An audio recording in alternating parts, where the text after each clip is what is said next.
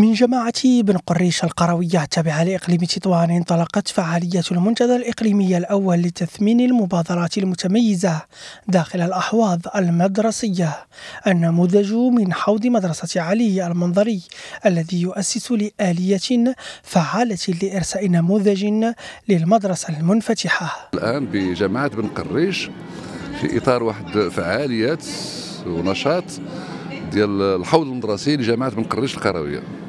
كما تعلمون أن تنزيل خريطة الطريق وتحقيق الأهداف استراتيجيه الثلاث المتعلقه بالتقليص من الهدر المدرسي والرفع من مستوى المشاركة ديال التلاميذ التلاميذ ومستوى التحصيل ديالهم. آه، سيتم تنزيله وفق واحد المجموعة ديال الآليات. ومن بين هذه الآليات التي تعزز اتخاذ القرار عن قرب هي اليات الحوض المدرسي الحوض المدرسي يشكل الآن وتجمع ديال مجموعه المؤسسات في واحد القطعة ترابية ومحطة بين المديرية الإقليمية والمؤسسة. النشاط هذا اللي غادي يكون على مدة زمنية اللي هي ديال يومين اليوم واليوم وغدا إن شاء الله في مجموعة من المعارض والورشات وغادي يتوج بواحد الكرنفال اللي غادي يكون هنا بالجماعة الترابية ديال بن قريش وهذه لبنه أولى ومحطة أولى لانطلاق مجموعة من الاوراش الاحواض المدرسية بالإقليم تطوان إن شاء الله.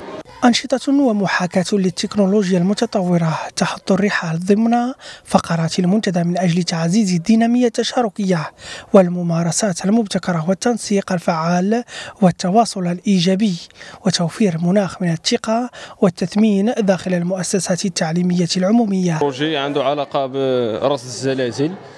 فوا مثلا كيوقع شي زلزال كيبت الإشارة أنه كاين واحد الزلزال فاش كيطلع وكيهود ديك الخط. وهذا مزيان باش كنرصدوا به الزلازل ويساهم في التطور ديال المدينة باش ترصد الزلازل وتشوف شنو هما الحلول اللي تعمل قبل ما يوقع شي هدم ديال شي شي منازل. المشروع كيدخل في إطار النشاط المنظم في منطقة بن قريش. آه، اليوم آه، هذا النشاط آه، كينخرط المخطط الجهوي والمخطط الإقليمي ديال لتنزيل خريطة طريق 22 26 واللي الهدف ديالو هو أننا نضاعفوا العدد ديال التلميذات والتلاميذ اللي كيستافدوا من أنشطة الحياة المدرسية.